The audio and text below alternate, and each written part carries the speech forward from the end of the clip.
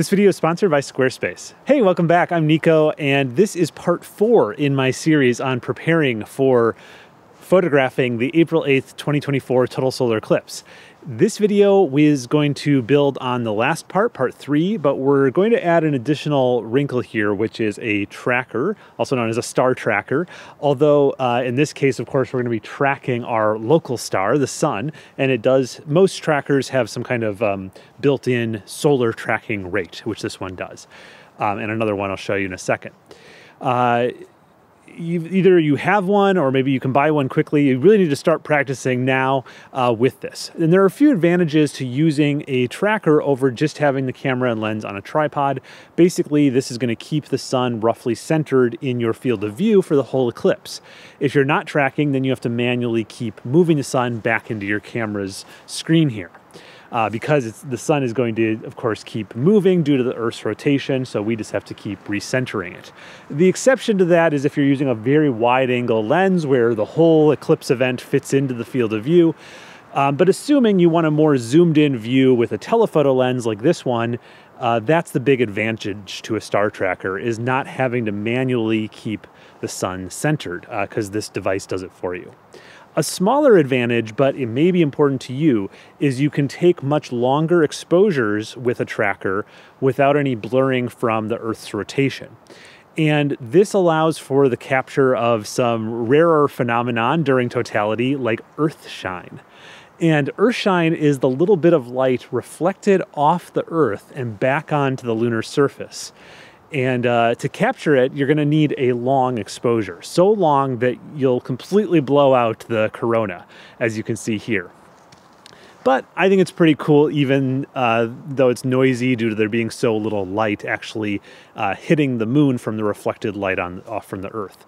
Uh, an advanced topic I'll get into later in a later video maybe is that you can use HDR high dynamic range techniques to combine your Earthshine photo with your other corona photos to get something like this image. Another reason for long exposures during totality, where you might want uh, tracking, is to capture the stars that are visible during totality. And this year, we also have the chance to capture a fairly bright comet during totality, or we think it might be bright, P12 Pons Brooks, which will be about 25 degrees away from the eclipsed sun. And I'll talk more about the comet towards the end of the video and show how to plan for it if you're interested. Okay, so let's get into it. I'm gonna skip over calculating exposure lengths and things like that since I just talked about that in the last one very recently, so you can go and watch part three to see that. You'd be using the same exposure calculator for a setup with a tracker. Uh, one thing that I should have mentioned in the last part that I forgot is that I shoot RAW on my DSLR or mirrorless camera, and I process all my photos with Adobe Camera Raw and Adobe Photoshop. And shooting RAW and, processing them that way gives you plenty of latitude when it comes to exposure. If you're a little bit overexposed or underexposed, for example, with RAW processing, it's really not a big deal. You can just bring the exposure slider one way or the other, and it's gonna look great. Uh, you can shoot JPEG only and try to get everything perfect in camera without any editing, but it just requires a little bit more work and testing to make sure that the suggested exposure lengths from the online calculator are accurate uh, to get a, a good exposure with your particular lens and solar filter and camera. And so you might have to adjust that shutter speed up or down a little bit to make sure that you, right, you have the perfect exposure.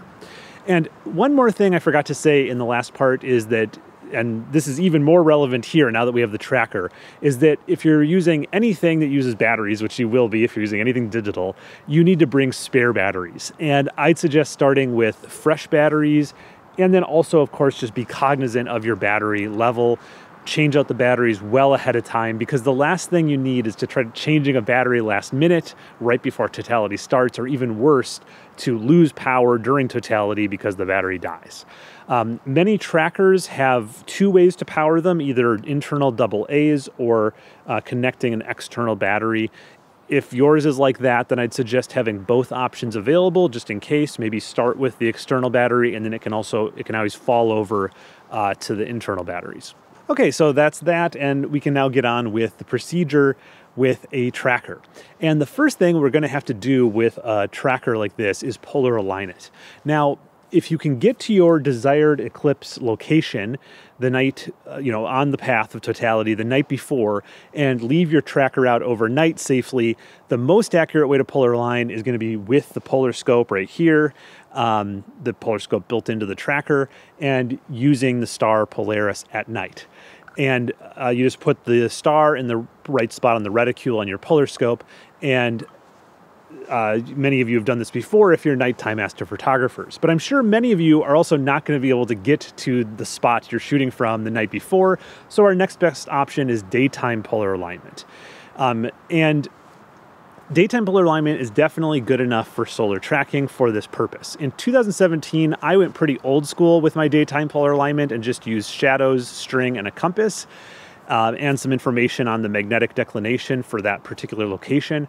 Nowadays, since most of us are carrying smart devices, a smartphone, I'd suggest a smartphone based method for this. And it's available on both iPhone and Android. They're very similar, uh, they just use different apps. Now, no matter what kind of phone you have, if you use a case with a magnet on it, you need to remove that case. The reason I have this case with a magnet on it is it's, it's easy to stick on my little adapter when driving. Um, but I want to remove this case. I'm planning on maybe getting an alternate case right before the eclipse. But for now, just for demonstration, I'll just go caseless with my phones and, and be careful. And the reason is this magnet will totally mess up your phone's internal compass, uh, which is what we need to be accurate for this method of daytime alignment to work.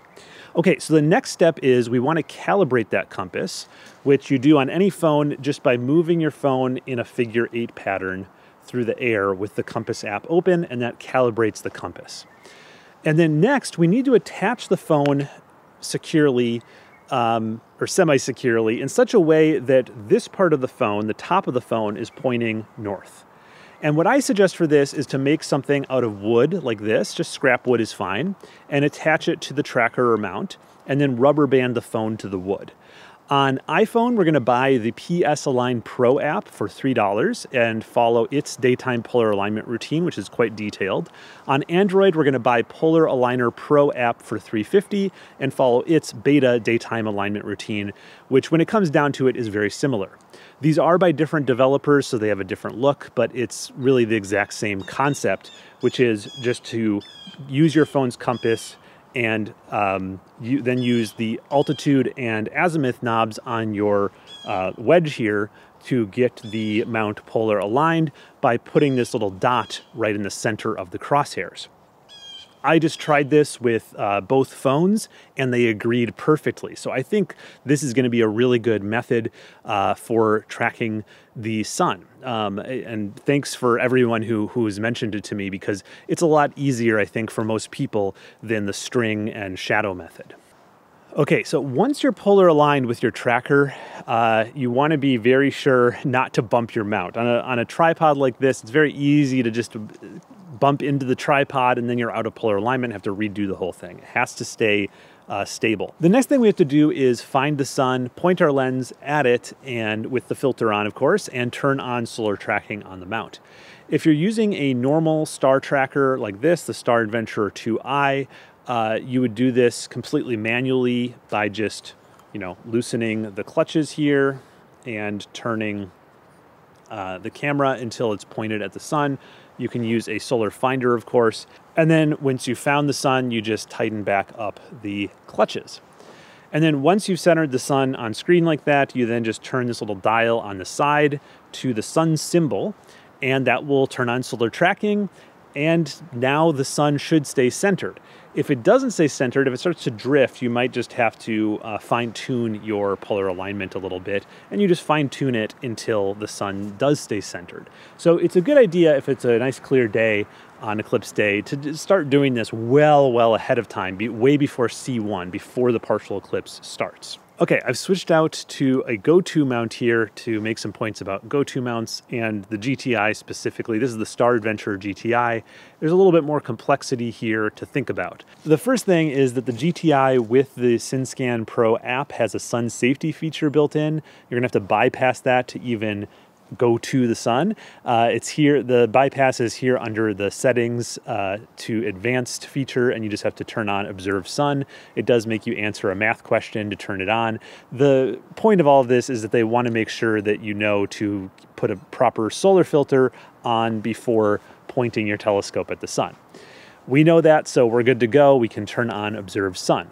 Now, just because this has go to doesn't mean that it's going to put the sun right on screen. It will get it close, but you will probably still need a solar finder to fine tune it because uh, in the nighttime, we can calibrate the go-to system on the GTI here with star alignment. We can't do that during the daytime unless we get there the night before and do it. Okay, so anyways, you're gonna have to use a solar finder. You find the sun, you turn on solar tracking here in the app, and then it's very similar to the other tracker, the 2i, but with one important exception, which is by default, the GTI will do an auto meridian flip five degrees past the meridian. And guess what? At my location, that would mean uh, it would auto flip from one side to the other during totality, which would be a, dis- a, complete disaster, right? You would probably miss most of totality if that happened. So we have two options, and the better option will depend on where you are along the path. For me, the best option is to flip before totality. Um, and the reason for this is I have about 12 minutes to just manually go to the sun uh, before totality, and it will flip to the other side, right? And then, so I'll re-slew, I'll center the sun, I'll get everything set up, and then I'll still have a few minutes before totality starts. At other locations, the timing may be different, and it might make more sense to, to uh, slew to the other side uh, after totality. Um, or, you know, just turn off the auto flip entirely and just let it track a little bit past the meridian. Now, the GTI will only track so far past the meridian before it has a hard stop. I think it's about 15 degrees, it looks like. Um, so you will have to flip at that point. Um, you can turn off the Meridian Flip with most go-to apps, you know, if you're using uh, SynScan app. And not all mounts is it really even necessary to flip, right? With the GTI, like I mentioned, at 15 degrees, there's a hard stop, but other mounts can just keep going. And as long as your camera isn't hitting anything on the tripod, you might be good to go. Do you just keep tracking past the Meridian all throughout the eclipse? It'll just look sort of funny because your counterweight will be up uh, above your telescope. But the important thing with any of this is be very aware of it, be aware when uh, the sun is going to cross the meridian for your location and have a game plan so that you're not going to get into the situation where it's your mount is auto flipping the telescope or lens or whatever you have uh, right during totality or right before totality. Okay, and then as promised, here at the end, I'll comment a bit about the possibility of capturing a comet during totality, specifically the comet 12P Pons Brooks and it's going to be about 25 degrees away from the eclipsed sun. 12P Pons Brooks has an orbital period of 70 years, so it's been seen before, observed before in 1884 and 1954, and now we have it again in 2024. Um, I've already been able to get a quick snapshot of it. It looked like this at 350 millimeter focal length, and I'll be trying to capture a better shot of it uh, during the new moon period in March. But it's a little bit tricky because it's one of those comets that's only visible right now at dusk and dawn and pretty low uh, in the sky, close to the horizon, at least at my location. Except, of course, during the eclipse, it will actually be high in the sky, right? Up by the sun. Um, and the big question is will the comet be bright enough to see or to get a good photograph of it during totality? And the truth is, no one knows for sure. Comets are unpredictable in their brightness, but if you want to try to photograph it, I think the coolest shot would be fairly wide to get both totality, the eclipse, the eclipse itself, and the comet in the same shot. Now, that comes with some risks because there's uh, it's a wide shot, so the comet might not be big and bright enough to be visible in a wide angle shot. But if you want to try, uh, let's look at Stellarium to get some ideas of where it will be in the sky and what field of view would work. Okay, here we are in Stellarium. This is a free program you can download for this kind of thing. The first thing we have to do is actually add the comet to Stellarium's uh, database uh, because it's not in there by default. This is a little convoluted, but uh, should be fairly easy to follow me here. you're to go over here to the left-hand side, click on Configuration Window, uh, click on Plugins. On the left-hand side of Plugins, find Solar System Editor, then click Configure, then click uh, Solar System here, the Solar System tab. Then down here, click on Import Orbital Elements, then choose Comets, and then where it says Select Bookmark, uh, click the little down arrow here and choose Gideon Van Buitenen Comets and click Get Orbital Elements. Okay, then it's going to come up with this really long list of comets. Uh, luckily, this is searchable, so I'm going to type in 12P, and there's our comet right there, 12P Pons Brooks. We can check it and click Add Objects. And now uh, you might have to restart Stellarium, but it should be searchable now. If we open the search window and search, you should be able to now uh, search for it and it will have its orbital elements for any day, any location on Earth.